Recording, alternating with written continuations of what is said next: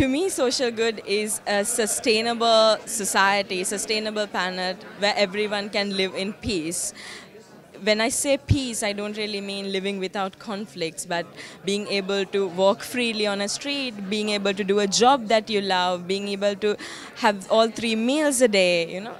peace in that sense, peace in terms of having a peaceful life. So that would really mean social good to me what keeps me motivated is the young people, the inspiration of in the eyes of young people that I meet on a daily basis. I see how they challenge the existing systems, how they challenge the status quo, come out with disruptive ideas to change things, and it really gives me hope for the future and it keeps me going.